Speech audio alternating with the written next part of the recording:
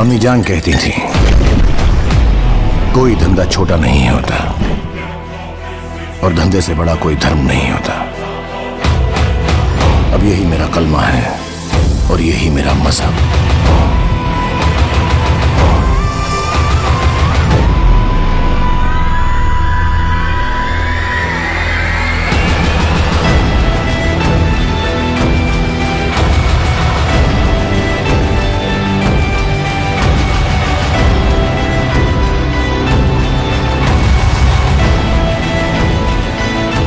बनिएगा दिमाग मियाँ भाई की डेयरिंग